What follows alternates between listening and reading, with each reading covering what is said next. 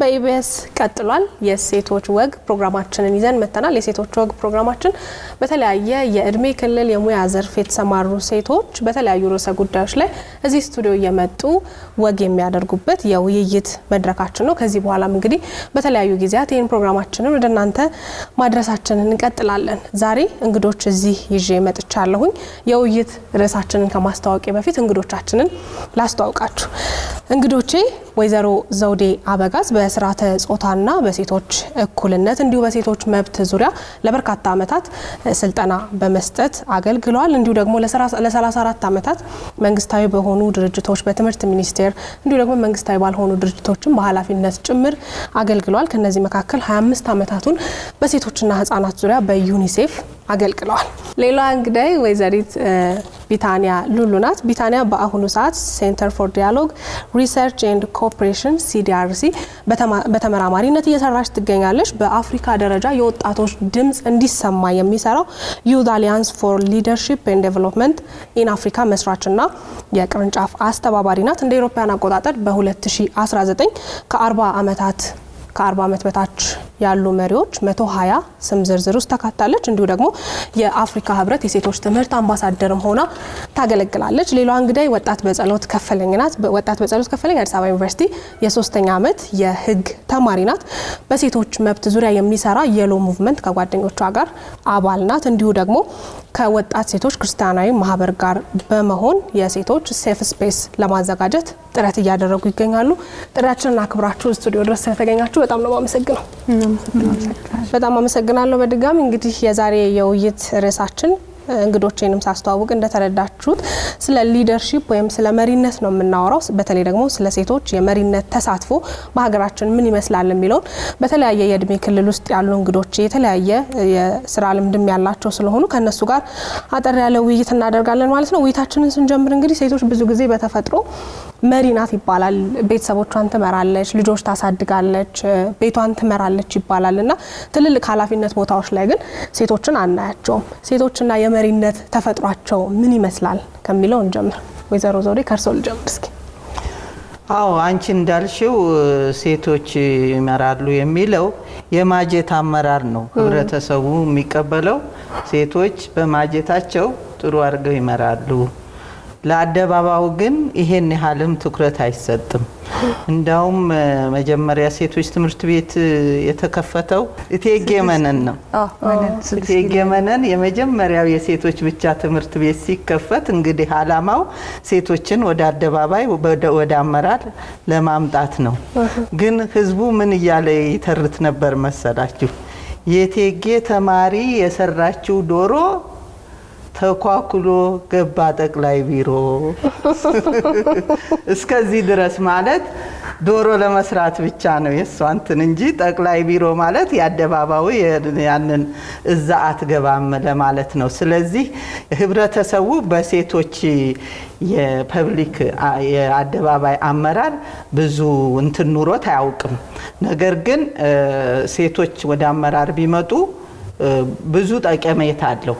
በመጀመሪያ ደረጃ እራሱ ያሉበት ያደጉበት የኖሩበት ብዙ ሰውን አንድ ላይ የማስተዳደር ያለውን resource ደግሞ አብቃቅቶ ለቤተሰቡ የማካፈል ሲጣሉ የማስታረቅ ይሄን ይሄንን አይነት ነገር ነው እና በአንድ ጊዜ መዓት ድምጾች ናቸው የሚሰሙት ሴቶች።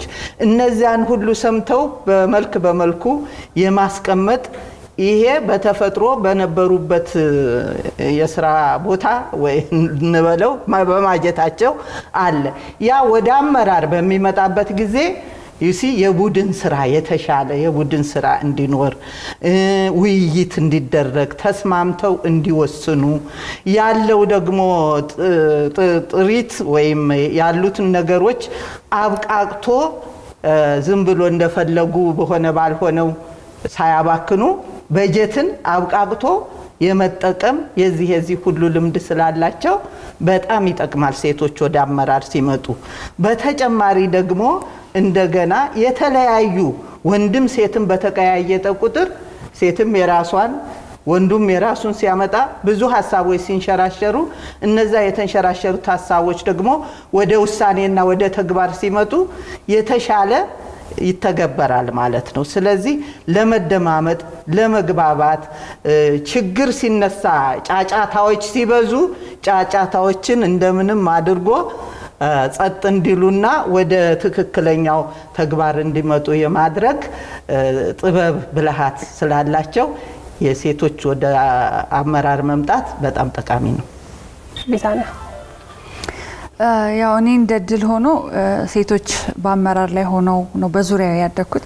የሴቶች ትምህርት ቤት ነው የተማርኩት። ከአራት ዓመቴ ጀምሮ እስከ 18 ዓመቴ ድረስ የሴቶች ትምህርት ቤት ነው የተማርኩት። ሴቶች በጀንደራቸው limit እንደማይደረጉ ከፈለጉ እግር ኳስ ተጫዋች፣ ከፈለጉ leader፣ ከፈለጉ ወንድ መሆን የሚችለውን ሁሉ እንደሚችሉ አይቼ ነው ያደግኩት በዙሪያ። ከዛም ደግሞ በተጨማሪ እናቴ ከቤተሰቡ የመጀመሪያ ዩኒቨርሲቲ ነው የተማረችው። ገና በ18 ዓመቷ early ነው የገባቸው አዲስ አበባ ዩኒቨርሲቲ።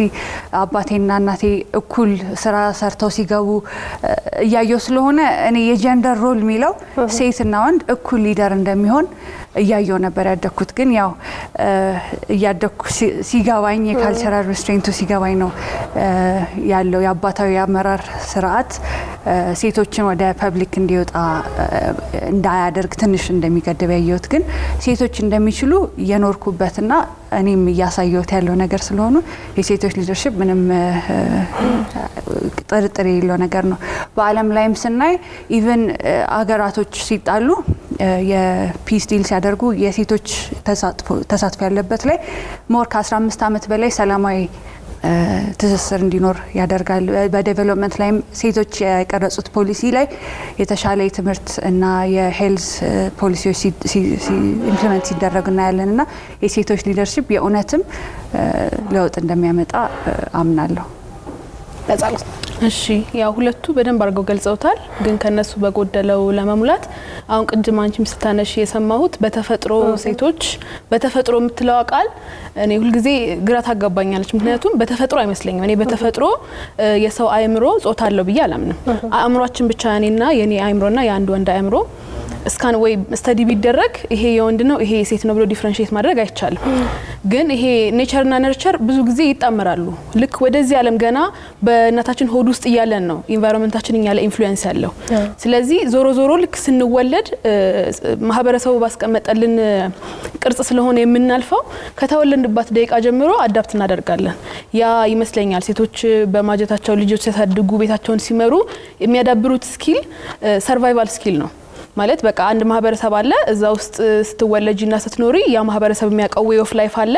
ያንን መከተል ስላለብሽ survive ለማድረግ ብለን በምንኖርበት ጊዜ ተያይዞ የሚመጡ skill ኦች አሉ። ያ of course leadership ቦታዎች ላይ በጥቂቱም ቢሆን ሴቶች ሲታዩ የሚያንጸባርቁት ጸባይ ይኖራል ማለት ነው እንጂ አሁን ብዙ ጥናቶች ሲያሳዩ ራሳቸው ጥናት አድራጊዎቹም አይስማሙበትም። አንዳንዱ ሴቶች more risk ን ይወስዳሉ ይላሉ፣ አንዳንዶቹ እንደ ወንድ ነው more risk የሚወስደው ይባላል። ግን አሁን ለምሳሌ risk አወሳሰድን ስናይ አንድ ሴትና አንድ ወንድ leadership ቦታ ላይ እኩል ቦታ ላይ ያሉ ሁለት ወንድና ሴት አንድ ወንድ risk ወስዶ fail ቢያደርግ ወንድ ስለሆነ ነው fail ያደረገው አይደለም የሚባለው፣ ሰው ነው ያጋጥማል የሚባለው። ግን አሁን አንድ ሴት ተመሳሳይ risk ወስዳ ያ ነገር ሳይሳካላት ቢቀር ልጆች ስታሳድግ ተዘናግታ ነው ሌሎች ነገሮችን ስለምንደራርብ እነዚህ እንትኖች የሚያሳዩት ጸባይ ወይም የሚያሳዩት skill እንደ የራሳችን individually ይለያያል።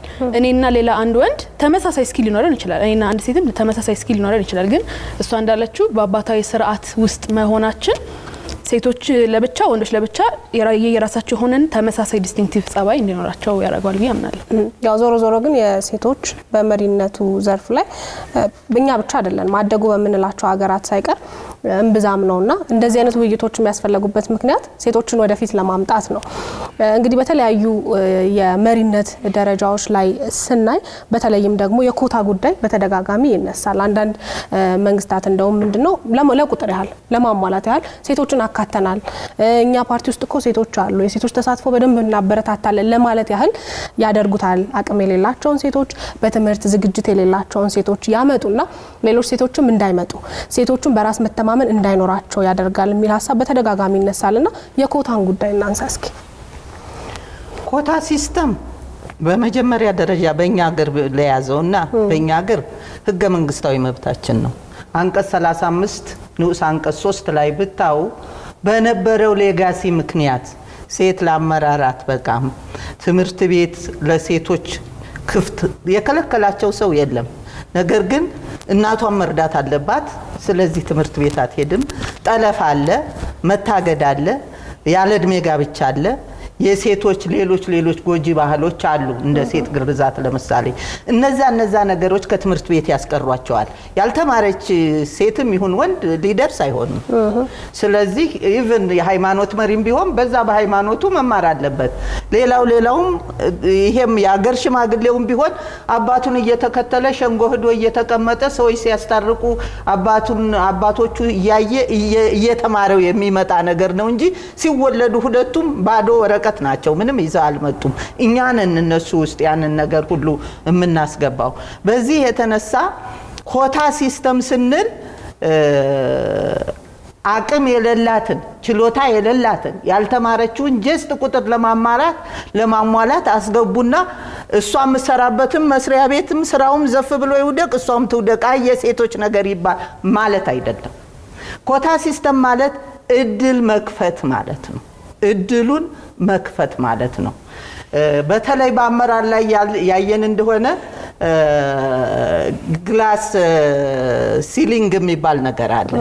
glass ceiling ምንድን ነው? እዚህ ጋር አንድ ቤት አለ እንበል፣ የመስተዋት ቤት ውስጡ የዓለም ጥሩ ነገሮች ሁሉ ተከማችተውበታል።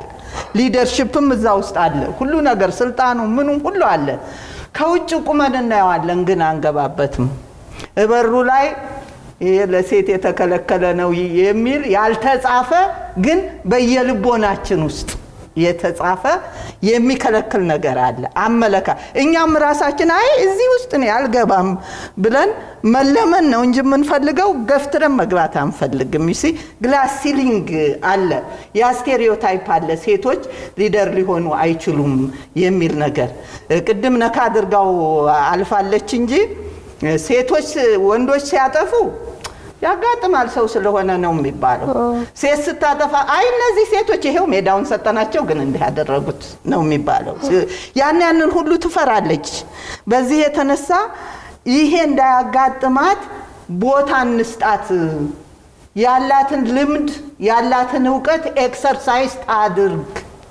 የኳስ ሜዳው በደንብ ተመቻችቶ ለሁለቱም ይቅረብ ማለታችን ነው እንጂ quota system ማለት ምንም የማትችለውን አስገብቶ ታንቦራጭቅ ማለት አይደለም። ያው እኔ እንዳልኩት እኔ በጣም እድለኛ ነኝ እና ጥሩ ዘመን ላይ የተወለድኩት።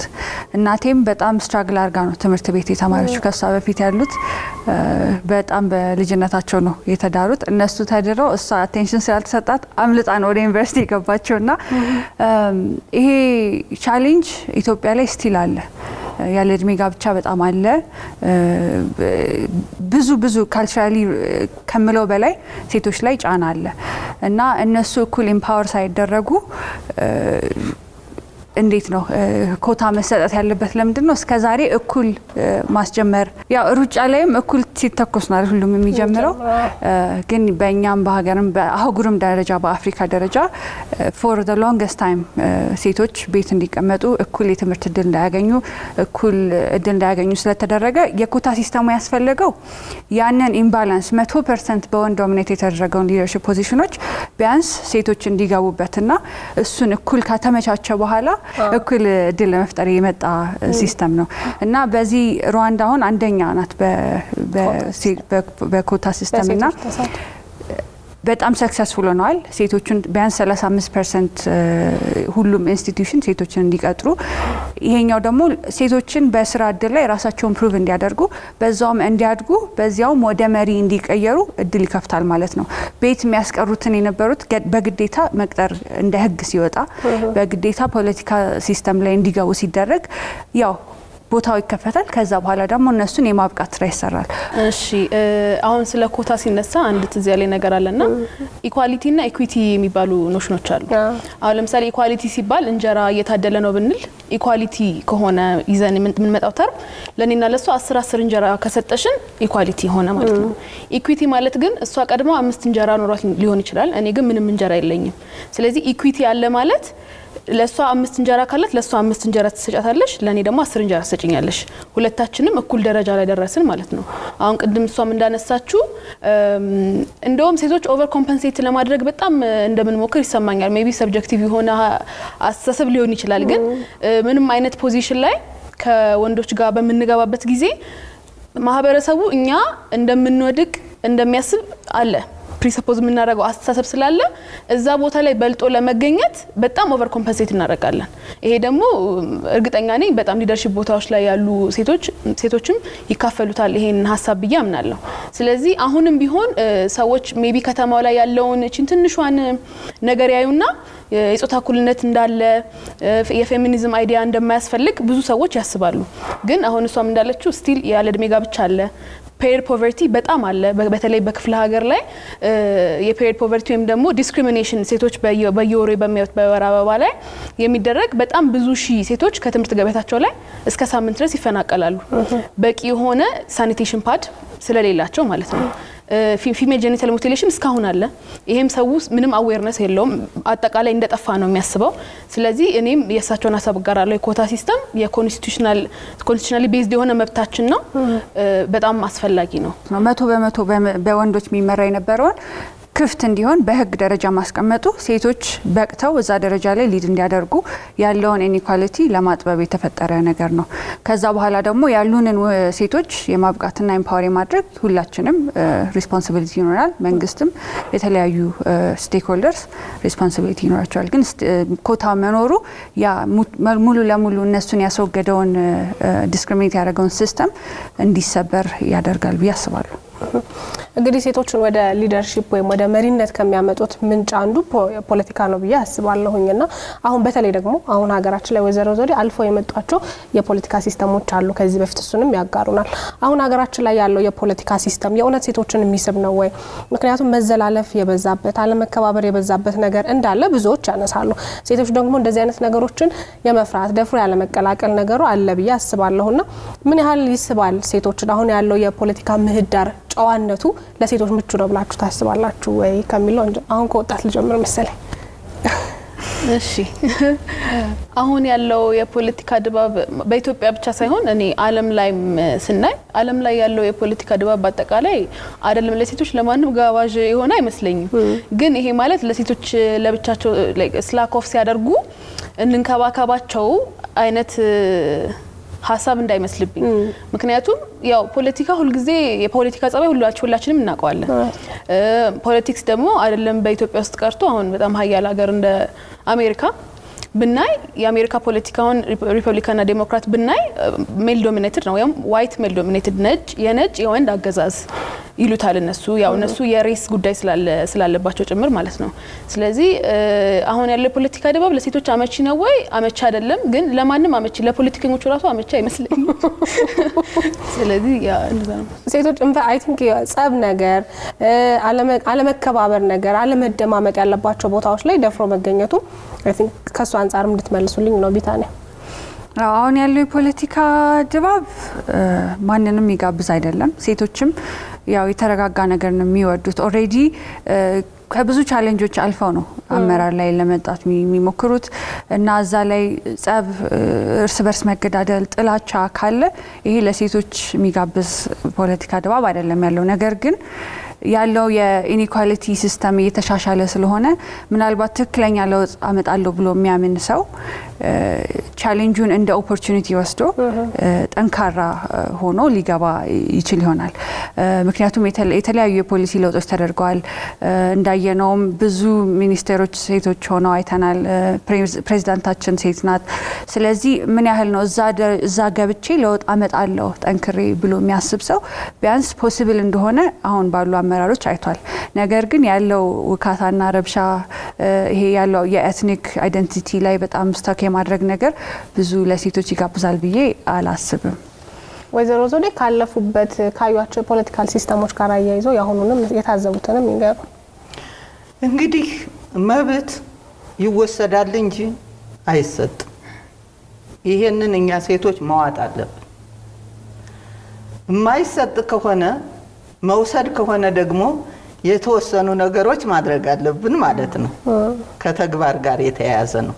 ትምህርት ይጎድለን እንደሆነ ትምህርታችንን ማጠናከር የተለያዩ የስራ ልምዶች ይጎድሉን እንደው እነዚያን የስራ ልምዶች ማጠናከር ለምሳሌ ዋናን እንውሰድ።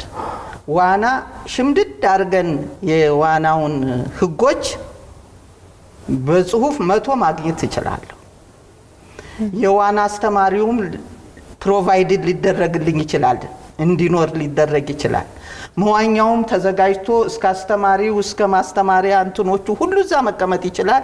እኔም ያንን ሸምድጄ መቶ መድፈን እችላለሁ። ዋነተኛ ነኝ አይደለም። ምን ቀረኝ? ገብቶ እዛ ውስጥ ለመዋኘት ቁርጠኛ መሆን። ለምን እዛች ውሃ ዘለሽ ስትገቢ መታፈን አለ። ወድቆም አለ ነገሩ ወድቆም እኮ አካለ ጎደሎ ቢሆኑ ብዙ አሉ። ብዙ አይነት እንትኖች አሉ እዛ ውስጥ በመዋኘት ያ ሁሉ ይሁንብኝ፣ እገባለሁ፣ እዋኛለሁ፣ የሆንኩትን እሆናለሁ፣ ዋኝቼ እወጣለሁ። empowerment ማለት ያ ነው። የራሳችን ቁርጠኝነት ያስፈልጋል። የተመቻቸ አይደለም፣ አልደግምም። እናንተ ያላችሁት መቼ ተመቻችቶ ያውቃል?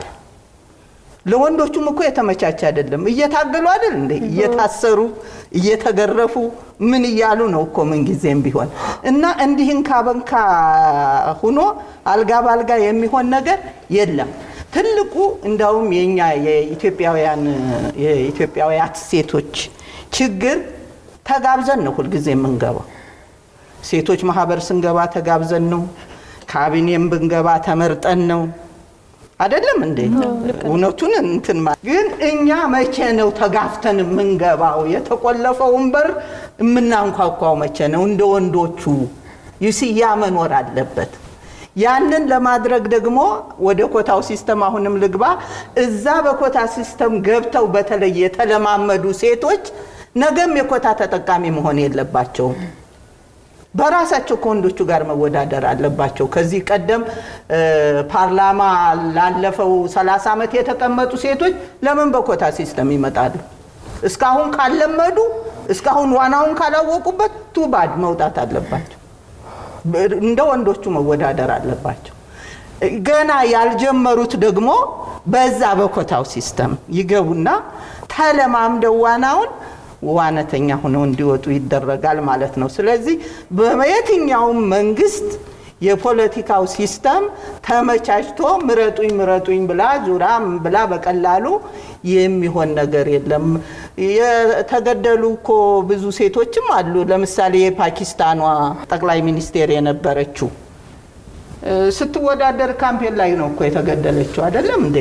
ስለዚህ እኛም ትንሽ ቁርጠኝነት ማሳየት አለብን። ሁልጊዜ ለኮሚቴ እንኳን ተለምነን ነው እኮ የምንገባው። አመራር ላይ መግባት ፈልገን ቁጭ ብለን እስከሚለምኑን ጠብቀን የማይሰራ ነገር ነው። መግፋት አለብን በሩን። ትምህርት ካስፈለገ የሚጎድለን መማር አለብን። ልምድ ከሆነ ያንን ልምድ የምናገኝበት ነገር መሆን አለበት። ኔትወርክ መስራት ከሆነ ቁጭ ብለን ዝም ብለን እርስ በርሳችን እንደዚህ ተያይዘን መሄድ ሳይሆን ወንዶቹ እኮ ማታ ማታ የሚያመሹት probably ጠጪዎች ስለሆኑ ነው ልንል እንችላለን። እውነት አለበት። በእርግጥ ግን በጠጭነት ብቻ እንዳይመስላችሁ። እዛ ነው ሁሉ ነገር የሚያልቀው። የሚፈልጉትን ሰው የሚያገኙት እዛ ነው። ሁሉን ነገር እዛ ጨርሰው የሚመጡት። ኔትወርክ ቦታ ነው ያ። የሴቶቹ ኔትወርክ ቦታ የት ነው? እንዲህ እንዲህ ያሉ ነገሮችን ለማመቻቸት መሞከር አለብን እንጂ አዎ ሴቶች እናቶች ስለሆኑ ደግሞ እንትኑ ባህሉም discourage ያደርገናል። ወንድ ቢታሰር ምን ችግር አለው? ሚስቱ ሳህን ይዛ ትሄዳለች፣ ታቀብላለች። ይሄው ያለ ቦታዋ ገብታ ልጆቿን እንደማሳደግ እዛ ፖለቲካ ውስጥ ገብታ ታሰረች። አሁን ማን ሳህን ያቀብል? ወንዱ ሳህን ይዞ ሲሄድ ያፍራል አይደል? እስር ቤት እስቲ ያ ያም ደግሞ አባታዊ ስርዓቱ ያመጣው ባህል እምነትና ወግ ሁሉ አለ። እኔ አስታውሳለሁ አንድ ጊዜ አንድ አካባቢ የቄስ ሚስት ናትና በደርግ ጊዜ አይሴማ የሚባል አብዮታዊ ሴቶች ማህበር የሚባል ነበረ። ትዝ ካላችሁ የተወለዳችሁ ካልሆነ እዛ ላይ ተመረጠች። በኋላ ቄሱ ባልየው ቀድሞ ደረሳቸው ወሬው። ጉድ ነው የቄሱ ሚስት የሴቶች ማህበር ሊቀመንበር ሁና ተመረጠች ተብሎ ልክ ገና ስገባ በሩ ላይ ቁጭ ብለው ጠበቋትና አንቺ ቃል አዋቂ እኔ ቃል አዋቂ የትኛችንን ሁን የቤቱ ጠባቂ ብለው ይኖ አስተላለፉ። approve እንደማያደርጉ። ስለዚህ ከቤተሰብም በኩል ልጆችም ጭምር ተጽዕኖ አለ፣ ኃይለኛ ተጽዕኖ አለ። ያንን ሁሉ መስበር በግድ ያስፈልጋል እና ምንም የተመቻቸ ሁኔታ የለም። ግን ቁጭ ብሎ መጠበቅ አያስፈልግም። መብት ይወሰዳል እንጂ አይሰጥም። ቢታንያ ቅድም ያነሳሽው አንድ ነገር ነበረ። ሴት ፕሬዚዳንት አለን፣ እንዲሁ ደግሞ 50 percent ሚኒስትሮቻችን ሴቶች የሆኑበትንም ወቅት አይተናል በዚህ ጊዜና ጥሩ ነገር ይበል የሚያሰኝ ነገር ጥሩ ጅማሬ ነው ብዬ አስባለሁ በግሌ ና ለውጥ አምጥቷል ወይ እናንተ ካያችሁት ከታዘባችሁት እንደነዚህ አይነት ሴት አመራሮች መብዛታቸው ለውጥ አምጥቷል ብለን ማሰብ እንችላለን? ቢታንያ ከአንቺ ልጀምር። ያው ለውጥ አምጣ አምጣ ያው እሱ በ monitoring እና evaluation የሚወሰን ነገር ነው። መሬት ላይ የወረደ ነገር ማየት ስለማንችል ማለት ነው እኛ ካለንበት። ነገር ግን አሁን የተወለዱት ህጻናቶች ልጆቻችን envision ማድረግ እንዲችሉ አስችለዋል ቢያንስ ቴሌቪዥን ላይ ሲያዩ የትራንስፖርት ሚኒስትራችን ሴት ናት። የኢትዮጵያ ቴሌኮም ዋናዋ CEO ፍሬ ህይወት ከመጣች በኋላ ይኸው ቴሌ እንኳን ተሻሻለ የሚባል ነገር አለ። ይሄ ሴቶች ሲመጡ አበላሹ ሳይሆን ሴቶች ሲመጡ አሻሻሉ የሚለውን ነገር narrative እየተቀየረ ነገር ነው።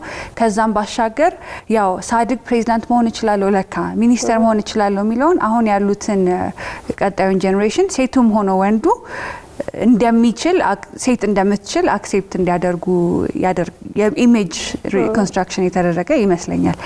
ግን ተጨባጭ የሆነ መሬት የደረሰ ነገር እንግዲህ ጥናት ይፈልጋል በጣም ጥናት ይፈልጋል። በተለይ የ representation ነገር በቀላሉ የሚታይ ነገር አይደለም። እኔን የሚመስል ሰው እኔ ወደፊት መሄድ ወደምፈልግበት ቦታ ከዛም ደግሞ አልፎ እኔ የምፈልገው ቦታ ላይ ተቀምጦ ማየት psychologically በጣም motivate ያደርጋል። ስለዚህ አንድ ሰው እኔን የሚመስል ሰው እኔን represent አድርጎኝ ሳይ ለእኔ በጣም ብርታት ነው የሚሆነኝ። ስለዚህ ይሄ ራሱ በጣም ትልቅ ነገር እንደሆነ ይሰማኛል። ከዛ ባለፈ ደግሞ አሁን ሁሉም ሰው የሁሉም ሰው discussion ነበር አይደለም። በጣም 50 percent እንደዚህ ሆነ፣ ሴቶች ተሾሙ፣ ግማሹ ያሽሟጥጣል፣ ግማሹ በቃ አንድ ሰሞን የመወያያ ርዕስ ሆኖ ነበር። ግን አሁን ይሄ ነገር ከሆነ ስንት አመት ነው? በጣም ጥቂት አመታት ነው። ለብዙ ለስንት አመታት ለስንት ሺህ አመታት የነበረን ነገር በእነዚህ ጥቂት አመታቶች ውስጥ ምን ተሰራ እስቲ የት አለ ብሎ መጠየቅ እኔ ተገቢ ነው ብዬ አላምንም። ግን እሷ እንዳለችው ይሄ ተሰርቷል፣ ይሄ ይሄ ለውጥ ታይቷል ለማለት ራሱን የሆነ research ያስፈልገዋል። ያለ ጥናት የምናወራ ከሆነ ተሰሚነትም አይኖረውም። ግን እኔ እንኳ አሁን ባለፈው የሆነ ስብሰባ ላይ እንደዚህ የ group discussion ነበረንና አሁን ሴቶች I think አዲስ የወጣ regulation አለ። ሴቶች በስራ ቦታቸው ላይ ከወለዱ በኋላ ልጆቻቸው የሚያጠቡበትና ልጆቻቸውን care የሚሰጡበት ቦታ መዘጋጀት እንዳለበት በመስሪያ ቤቶች ውስጥ አሁን ይሄን ያደረገው ሴቶችና ህጻናት ነው። አሁን እንደዚህ እንደዚህ እንኳ ብለን እኛ ፍላጎቱ ኖሮን ብናነብ የተለያዩ research ኦችን ብንሰራ እስካሁን ብዙ ለውጦች እንዳሉ እንደሚኖሩ ይሰማኝ። ከዛ ባለፈ ግን ጊዜም ይፈልጋል። ከጊዜ በላይ ደግሞ እዛ ላይ የተቀመጡ ሴቶች እሳቸው ብሎታል፣ ምንም መጨመር አያስፈልገውም። በጣም motivate ማድረግ የሚችሉ ሴቶችን ራሳቸው passion ያላቸው እስከሆኑ ድረስ የማይለወጥ ነገር አለ ብዬ አላስብም። over expectation እንዳይኖር እፈራለሁ። ሴቶቹ እኮ እዛ ላይ የተሾሙት የፍትህ ፕሬዚዳንቷ የፍትህን ነገር እንዲያስተካክሉ ነው እንጂ በተለይ ሴቷን መርጠው እዚህ እዚህ ጋር ጎሏት ነበረ ይሄን ላስተካክል ብለው እዛ ላይ ብቻ focus አድርገው ሊሰሩ አይደለም። ያ የፍትህ system ኡን ራሱን ማስተካከል በራሱ ጊዜም አይበቃም። 24 ሰዓት ሳይሆን 48 ሰዓት ስሩ የሚል አይነት ነገር ነው። ስለዚህ over expectation ባይኖረን ጥሩ ነው። አንድ እሱን ለማለት ነው። ሁለተኛ role model ሆነዋል። እነሱ ሁለቱም እንዳሉት እነዚህ ሴቶች ልጆች አሁን ሚኒስቴር እሆናለሁ፣ ጠቅላይ ሚኒስቴርም መሆን እችላለሁ እያሉ ሊያድጉ ይችላሉ። ያንን በማየታቸው ማለት ነው። ልጆች የሚያዩትን ኮፒ እያደረጉ ነው የሚሰሩት። አንድ መጽሔት ላይ ለ85 ናይሮቢ forward looking strategy ሲሰራ የሴቶች አስርቱ ዓመት እንትን ሲያልቅ የዩኤን ሲያልቅ እዛ ላይ የሰማሁት አንድ መጽሔት ላይ የወጣ ነበረ። ፓኪስታን ውስጥ ወንዶቹ ትልልቅ መኪና የሚነዱት ወንዶች ናቸው። እዚህም በአብዛኛው ያው ወንድ ነው። ጠቅላይ ሚኒስቴሯ ቅድም ስሟ ጠፍቶኝ ነበር። ቤናዚር ቡቶ ነች የተገደለችው ካምፔን ስታደርግ። እሷ የዛ ጊዜ ጠቅላይ ሚኒስቴር ነበረች። እና አንድ ህፃን ልጅ ጠየቁት መንገድ ላይ ስታድግ ምን መሆን ትፈልጋለህ አሉት። ሹፌር መሆን ነው የምፈልገው፣ የከባድ መኪና ሹፌር መሆን እፈልጋለሁ አለ። እንዲህ ለምን ሹፌርነት ትመኛለህ? ጠቅላይ ሚኒስቴርነት ለምን አትመኝም? ይለዋል ጋዜጠኛው። አይ አይ ጠቅላይ ሚኒስቴርማ የሴት ስራ ነው። you see የሀገሩ ጠቅላይ ሚኒስቴር ሴት ስለሆነች even ያንን prestigious የሆነ ስራ እዛ ልጅ ውስጥ እያደገበት አይደለም። ስለዚህ እነዚህ ሴቶች ወደ ስልጣን መምጣታቸው እኔም እሆናለሁ የሚሉ ሴቶች ልጆች መፍጠር ብቻ ሳይሆን የሴቶቹ ልጆች ወላጆችም ዋናዎቹ ገፊዎቹ እነሱ ናቸው። አስተማሪዎቹ እነሱ ናቸው። resource የሚያቀርቡት እነሱ ናቸው። የእኔም ልጅ እንዲህ ትሆናለች ብለው ያለ የሌላቸውን ሁሉ ወንዱ ልጅ ጋር ላይ ብቻ ሳይሆን ሴቷም ልጅ ላይ invest እንዲያደርጉ ግፊት ያደርጋል። ግን ይሄ ቴሌቪዥንና ቴሌቪዥን የሚያዩት ጋር ነው። ቴሌቪዥን የማያየው የኛ ህዝብ በጣም ብዙ ነው። እኔ እንዳው ሰጀስት ማደርገው የሆነ ፎረም እየተፈጠረ አሁን ቴሌቪዥን የማይደርስበት አካባቢ እነዚህ ሴቶች የሚሄዱበት ነገር ሆኖ ይቺ ዶክተር እገሌ ናት፣ ይቺ ፕሮፌሰር ምናምን ናት፣ ይቺ ፓይለት ካፒቴን እገሌ ነች፣ እንደዚህ የሚባል እዛ ገጠር ትምህርት ቤቶች አካባቢ ምናልባት የአመታዊ ፕሮግራም እየተዘጋጀ ሴቶች ደው ቢታዩ እዛም እዚህ ከተማችን እሷ እያየች ስላደገች it's not issue አለች። ለእሷ issue አይደለም፣ አይታለች፣ እዚህ ነው ያደገችው።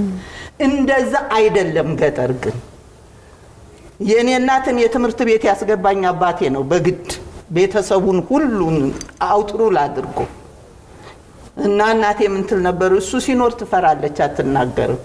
እሱ በሌለበት ግን ዝም በይው እባክሽ እሱን ቁጭ አድርጊው እንዳላጠና ነው። ጠልታኝ አይደለም ግን አላየችማ። የተማሩ ሴቶች ቁም ነገር የሰሩ አላየችም። የምታገባ የምትወልድ ስትቀቅል የምትውል ሴት ብቻ ነው የምታውቀው። ስለዚህ ልንፈርድባት አንችልም።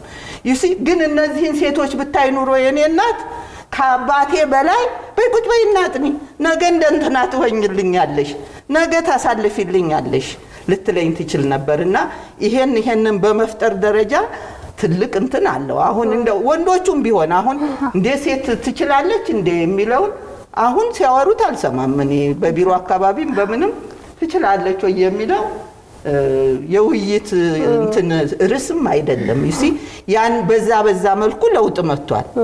እነሱ ግን በተጨባጭ እዛ በመቀመጣቸው የሴቶችን እኩል አለመሆን የፈጠረውን ስርዓት ለመሸርሸር እምነቱን ለመሸርሸር አመለካከቱን ለመሸርሸር የተሻለ አመለካከት ለማምጣት ምን ሰሩ የሚለው ጥናት የሚያስፈልገው ይመስለኛል።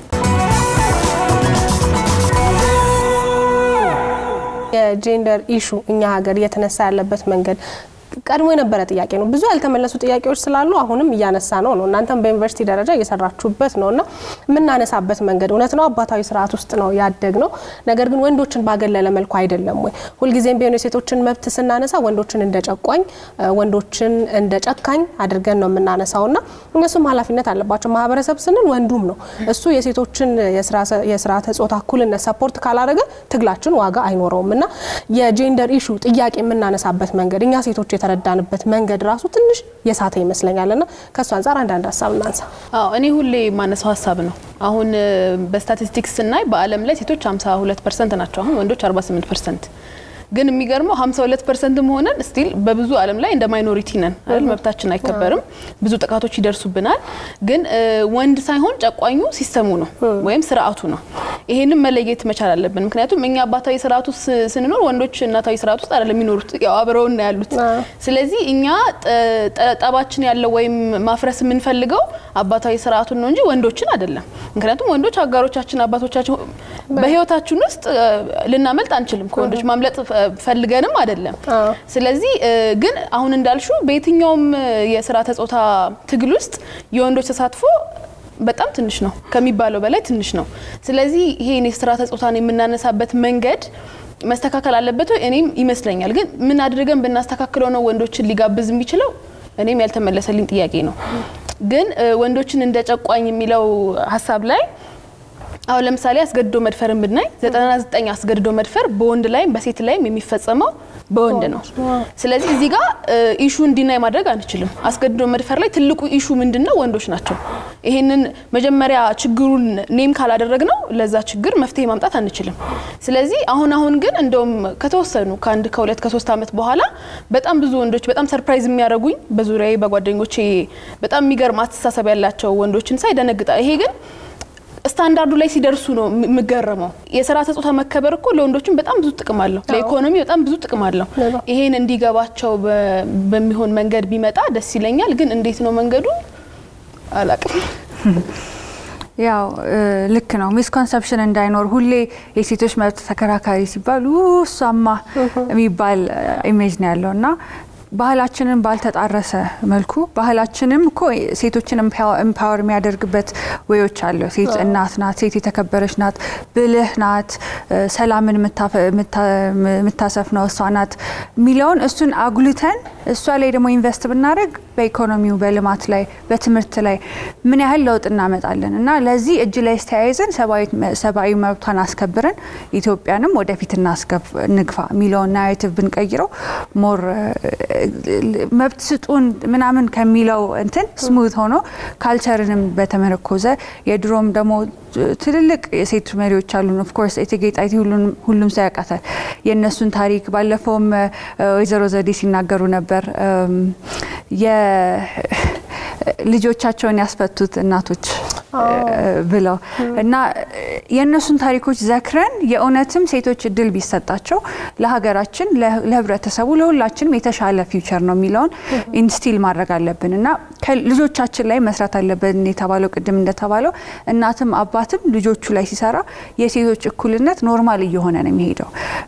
ልጆች ደግሞ የሚያዩትን ነው እየሆኑ የሚያድጉት አይደለም። ባል ሚስቱን ሲያከብር ሲያይ ልጅ ተነስቶ ሴትን እጁን አያነሳም አይደለ? ግን ሚስቱን እየደበደበ ባል ሚስቱን እየደበደበ ያደገ ልጅ ተነስቶ ሴትን ሲመታ ምንም ላይመስለው ይችላል። ስለዚህ ከቤታችን ነው ስርዓት የሚጀምረው፣ እኩልነት የሚጀምረው ከቤታችን ነው። እኔ በጣም እድለኛ ሁሌ ነው የምለው እድለኛ ነኝ እዚህ የደረስኩት። of course በራሴ የራሴ አይነት fight አድርጌ ነው የወጣቶችን inclusion በ continental level እንትን ስል የሴቶች እኩልነት ብቻዬን youngest እንደ only woman ሆኜ የተሰበሰብኩባቸው ስብሰባዎች ብዙ ብዙ ብዙ አሉና እሱ የራሴ fight ሆኖ ሳለ ግን እዛ ደረጃ ላይ ደርሼ መብቴን እንድቀበል fight እንዳደርግ ያደረገኝ እያየው ያደግኩት ስርዓት ስለሆነ ነው። አባቴ እናቴን ሲያከብር እኩል ወጥተው ከስራ ሲገቡ እኩል divide ሲያደርጉ task አቸውን በእኛ መሀል ሶስት ሴቶች ነን እኛ ሶስት ሴቶች ሆነን ሁላችንም leader እንድንሆን ሁለቱም በትክክል invest አድርገውብን ስላደግን። እሷም አሁን ለምሳሌ የውጭ እኛ ገና ሁለት ዓመት ሳይሞላኝ የውጭ እድል ሲደርሳት ችግር የለውም እኔ ያለሁ አንቺ ሄደሽ መማር አለብሽ ብሎ ሲልክ አድጌ ሳይ ለካ normal ያልሆነው እሱ ነው። normal ተብሎ የታሰበው ማህበረሰብ አይደለም።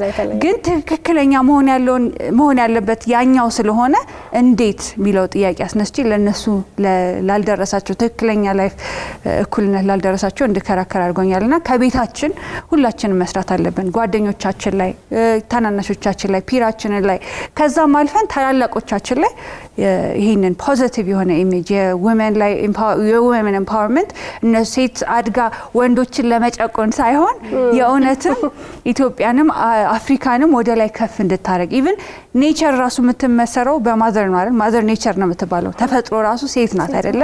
እና ሴት ላይ invest ማድረግ ለብዙ እንደሚተርፍ በ positive image አድርገን ብንሄድ አስባለሁ። አጀማመሩ የጨቋኝና የተጨቋኝ አካሄድ ነው ይሄድ ነው። በእኛ ብቻ ሳይሆን በዓለም ደረጃ ፌሚኒዝም ራሱ በዛ መንገድ ነው የጀመረው። ጨቋኝ ተጨቋኝ እንትኑንም ስናነሳ ጉዳዩንም ስናነሳ የብሶት ብሶት ይዘን ነው የተነሳ ነው። ሴት ድሃ ስለሆነች መሀይም ስለሆነች ገንዘብ ስለሌላት እናት ስለሆነች ቤት ውስጥ መኖር በቤት ውስጥ በአራት ማዕዘን በዛች ቤት ውስጥ ተከልላ መኖር ብቻ አለሟ ያች ናት። ይሄ ትክክል አይደለም ብለን ነው የተነሳ ነው። ታዲያ ምን እናድርግ? ሴት መሀይም እንዳትሆን እናስተምራት፣ ድሃ እንዳትሆን income generating activity የሚባል ነበር። generate አያደርግም income የእሷን meager resource ኦች የሚወስድ ነበር በዛን ጊዜ ከ1975 እንኳ የ UN conference on women ሜክሲኮ ላይ የተደረገው ከዛ 10 ዓመት ናይሮቢ ላይ ናይሮቢ forward looking strategy የመጣው ከዛ በየአምስት ዓመቱ እያለ ቤጂንግ ድረስ 95 መጣን። አሁን ደግሞ 25 ዓመት ልናከብር ነበር። በኮሮና ምክንያት last year አልተከበረም። ቤጂንግ plus 25 እነዛን ሁሉ ይዘን ብናያቸው ድሃ ስለሆነች ነው የሴት ችግር ብሎ ነው የጀመረው። ይሲ የሴት ችግር ድሃ ስለሆነች አይደለም። ድሃ ያደረጋት system ነው ችግሩ። መሀይም ያደረጋት system ነው ችግሩ። ኢፍትሐዊ የሆነው የሀብት ክፍፍል ነው። በራሷ ላይ እንዳታዝ አንስታ የራሷን እንትን እንዳትጠቀም ያደረጋት የሚለው system ኡ ላይ ትኩረት መስጠት የጀመርነው በኋላ ነው። እንዳውም WID ነበር የሚባለው women in development እና ሴቶችን እንደ ችግር ወስዶ እነዚህን ችግሮቻቸውን ብንቀርፍላቸው ሲወልዱም የማዋለጃ ክሊኒክ የለም። ስለዚህ የማዋለጃ ክሊኒክ ብንሰራላቸው የቤተሰብ እቅድ እንትኖችን ብንሰጣቸው ውሃ ቀረብ ብናደርግላቸው ችግራቸው ይፈታል። አይፈታም። ችግሩ የ equity አይደለም። equity ን ያመጣው inequality ነው። ያ እኔን አበበና አበበች በቃ ሰው ናቸው፣ አንድ ናቸው። ወንድ ሰው፣ ሴት ሰው፣ ሌላ ልዩነት የለም የሚል system አለመኖሩ የሚል አመለካከት አለመኖሩ ያን system ነው። ግን ያንን system በኋላ ነው ለፍተን ለፍተን ለፍተን ለፍተን 25 30 በረ መቶ ዓመት ያገኘነው ኋላ ነው። ከዛ እየተሻሻልን እየተሻሻልን ስንመጣ ከሜክሲኮ ኮንፈረንስ በኋላ ምን መጣ? women in development ተብሎ ለምሳሌ በግብርናው ላይ ሴቶችን ብናሳትፋቸው በምን በምን activity ዎቹን እዛ ላይ monitor ብታደርጉ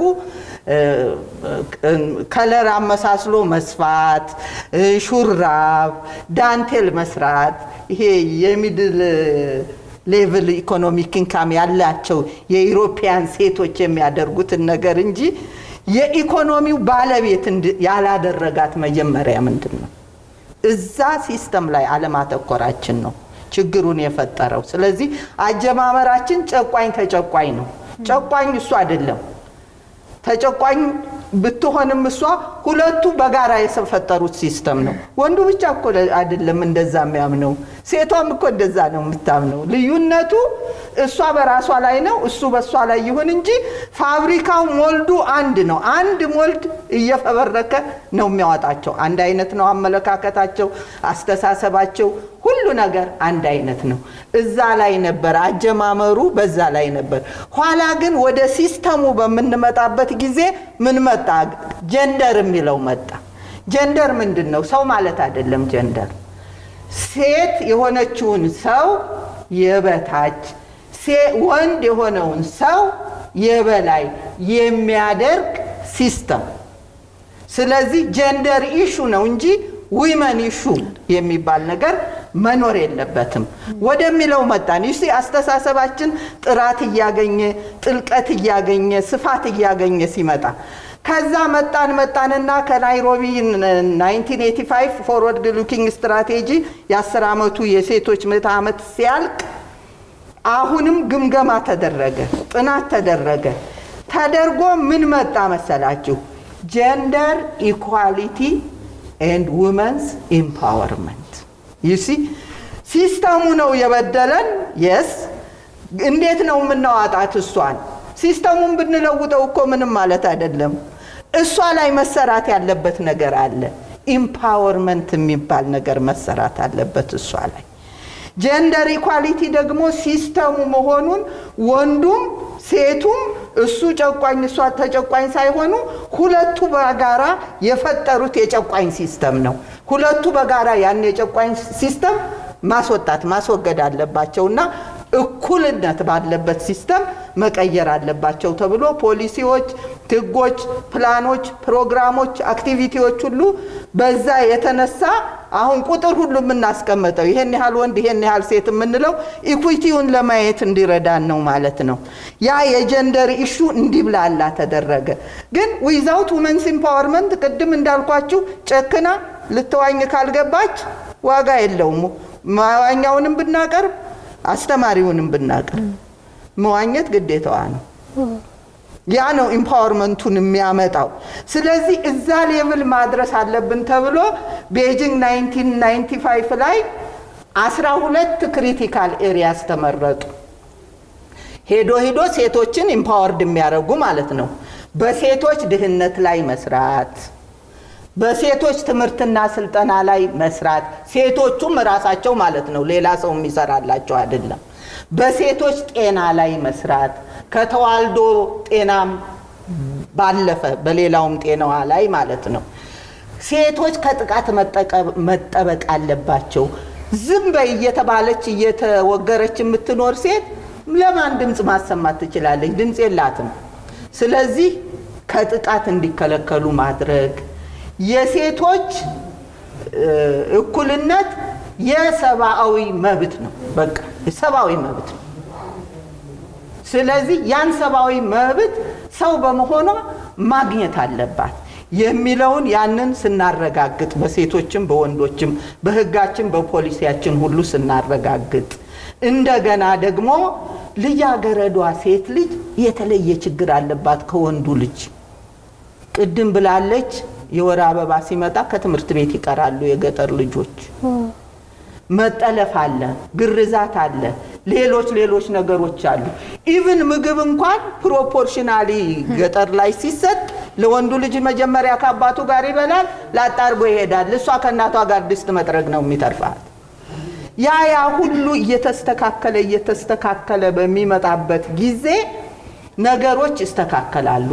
የሀብት ባለቤት መሆን አለባት።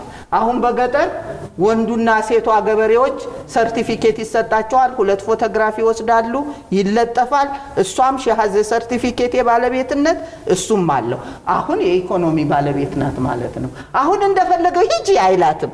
ተካፍላው ልትሄድ ነዋ። ስለዚህ ያስባል፣ አርፎ ይቀመጣል። ለምን ከፍላ ይዛበት ስለምትሄድ ማለት ነው። ይሄ fair ነው ወይ ልትሉ ትችላላችሁ።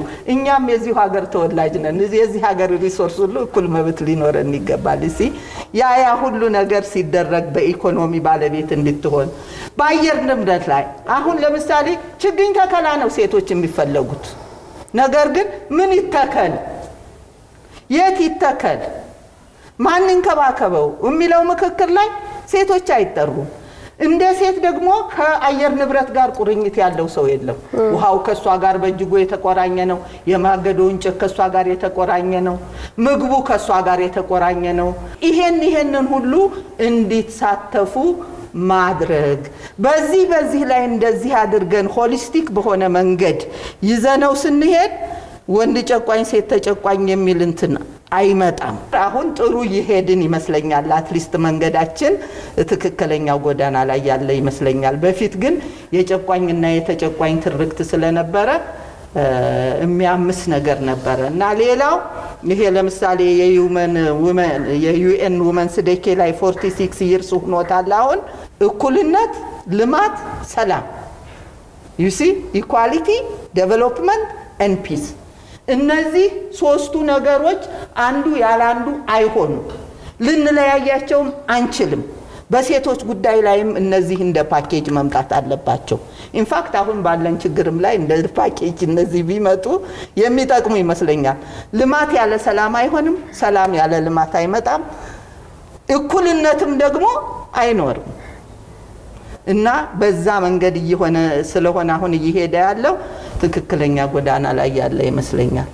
በጣም አመሰግናለሁ። ሰዓታችንም እንግዲህ እየጨረስን ነው፣ ግን በመጨረሻ በጣም በአጭሩ አንዳንድ ነጥብ እንድታነሱ የሚፈልገው ምርጫ እየጠበቅን ነው ከፊታችን እና ሁልጊዜም ቢሆን የፖለቲካ ፓርቲዎች ሀገር የሚያስተዳድሩበትን ፖሊሲ አለኝ ይሄን አደርጋለሁ ይሄን አደርጋለሁ ሲሉ ሴቶች ተሳትፎንም በዛ ውስጥ አካተው ይነግሩናል። እንዳልነው ግን እስካሁን በአጥጋቢ ደረጃ ስላልሆነ እንደነዚህ አይነት ውይይቶች አስፈላጊ ሆነዋል እና ሁልጊዜም ቢሆን እስካልተስተካከለ ድረስ ደግመን ደጋግመን ማንሳታችን ስለማይቀር ቀጣይ የፖለቲካ ፓርቲዎች ሴቶችም ሲመርጡ ትኩረት ሰጥተው እንዲመርጡ በተለይ በሴቶች ተሳትፎ ላይ የእውነት የበቁ በትምህርት ዝግጅት ያላቸውን ሴቶች ወደፊት ከማምጣት አንጻር መስራት አለባቸው የምትሉትን አንዳንድ ነጥብ እናንሳና ቆይታችን እናበቃል። እኔም ባለፈው እናንተ የተገኛችሁበት መድረክ ላይ ተናግሬው ነበርና አሁን እሳቸውም አንስተውታል።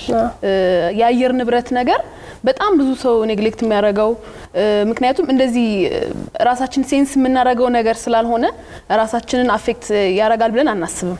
ግን አሁን ዓለም እየሄደችበት ያለው መንገድ በዚሁ የምንቀጥል ከሆነ የዛሬ 40 50 ዓመት ያለ ቬንትሌተር መንቀሳቀስ የማንችልበት ሁኔታ ሊፈጠር ይችላል። ስለዚህ አሁን በተለይ እኛ ሀገር ውስጥ ያሉ ፖለቲካ ፓርቲዎች አየር ንብረት ሴቶችን ከወንዶች በተለየ እንዴት ነው affect የሚያደርገው የሚለውን ነገር almost ማንም ሁሉም political ፓርቲዎች በሚባሉ መልኩ አያውቁትም። ይሄን ደግሞ ወደ ላይ ያስደፈረኝ ምንድን ነው አንድ training ወስጄ ነበር እኔና ያ training ምንድን ነው climate change and women ነው። so በጣም rigorous የሆነ training ነው የወሰድነው። climate change ለሴቶች ምንድን ነው ሴቶችን ከወንዶች በተለየ እንዴት ነው የሚያጠቃው? እንደገና climate change ደግሞ ለሰው ልጅ በአጠቃላይ ምንድን ነው እየመጣ ያለው devastation የሚለውን ነገር ነው ያየነው እና በመጨረሻው የ training ቀን ሁሉንም የፖለቲካ ፓርቲ አንዳንድ ተወካዮች ጋብዘን ነበረ እና በተገኙበት ጊዜ ምንድን የጠየቅናቸው ጥያቄ የእናንተ የፖሊሲያቸው ፖሊሲያችሁ የማኒፌስቷችሁ ውስጥ የአየር ንብረትን ጉዳይ እንዴት ነው የምታዩት የሚለውን ጥያቄ ነው የጠየቅናቸው። በሚያስገርም ሁኔታ ማናቸውም ሊመልሱት አልቻሉም ያንን ጥያቄ ማለት ነው። ስለዚህ አሁንም አሁን ይሄ ምናልባት የእኛ ችግር ላይመስለን ይችላል። ሌላ በጣም በጓዳችን በዙሪያችን የምናያቸው ችግሮች ስላሉ ማለት ነው። ግን I think የአየር ንብረት ጉዳይ በደንብ awareness ቢፈጠር ከ awareness በላይ ደግሞ sensitization በሬዲዮ በቴሌቪዥን ልንሰማው እንችላለን። ግን ይሄ ነገር okay it's coming መምጣቱ አይቀርም አይቀሬ ነው የሚለው ነገር አይምሯችን ውስጥ ቢገባ ብዬ እመኛለሁ። በእኛም center የምንሰራው ነገር ነው የሴቶች ተሳትፎ ላይ። የእኛ center ያው የተለያዩ ምክክሮችን facilitate ያደርጋል። መድረክ ፈጥሮ የተለያዩ ፖለቲካ ፓርቲዎችና የተለያዩ ያገባኛል ብለው የሚመለከታቸው stakeholder ኦች ሁሉ የሀገር ጉዳይ ላይ እንዲነጋገሩና common stand እንዲይዙ facilitate ያደርጋልና አንድ አሁን approach የጀመርነው የ women participation የሴቶች ተሳትፎ የሀገራዊ ምክክሮች ላይ ምን ይመስላል የሚል ነገር ነውና በጣም ብዙ ጥናት ይፈልጋል። እያንዳንዱ ፖለቲካ ፓርቲዎች ኮታ ለማሟላት ሳይሆን የእውነት ሴት መሪዎች አሏቸው ወይ? ወይ ስብሰባ ብቻ ሴት ላኩ ሲባል ተመርጦ ከኋላ ነው የሚላከው ወይ? ባለፈውም ወይዘሮ ቆንጂት ሲሉት ነበር። እሳቸው ብቻ ናቸው የፖለቲካ መሪ የፖለቲካ ፓርቲ መሪ ሴት የሆኑት አንድ ብቻ ናቸው። እስካሁን አላቅም ሰማንያም ዘጠና ሁለት መቶም ደርሶ ነበረ የፖለቲካ ፓርቲ ቁጥሮች። እና የሴቶች አመራር ግዴታ አስፈላጊ እንደሆነ ሁሉም ፖለቲካ ፓርቲዎች ፕላን ሲያደርጉ ማስገባት አለባቸውና ይሄንን ደግሞ አድቮኬሲ ሲሰሩ የምረጡኝ ቅስቀሳም ሲሰሩ የእውነት ለሴቶችና ለህፃናት ለወጣቶች ምን ልንሰራ አስበናል የሚለውን ለህብረተሰቡ ማሳየት አለበት። ህብረተሰቡም ለመምረጥ ሲወጣ የእውነትም ለሴት ለወጣቱና ለህፃናት ምን የተለየ ነገር አምጥቷል each እያንዳንዱ ፖለቲካ ፓርቲ የሚለውን assess ማድረግ አለበት ብዬ አስባለሁ። ከዚህም በኋላ ደግሞ ያው በእኛም center እኔም በበኩሌ ሁሉም በእያንዳንዱ በሚችለው ሚና መጫወት አለበት። ሴቶች ሀገራዊ ምክክር ላይ decision making ላይ ፖሊሲ ቀረጻ ላይ ሁሉም በሁሉም step ላይ መካተት አለባቸው። ቁጥር ለማሟላት ብቻ ሳይሆን የሚያመጡት የተለየ expertise አለ። እንደተባለው 52 percent ኡ ሴት ነው ኢትዮጵያ ውስጥ ነዋሪ አይደለ። መብታቸውም ነው።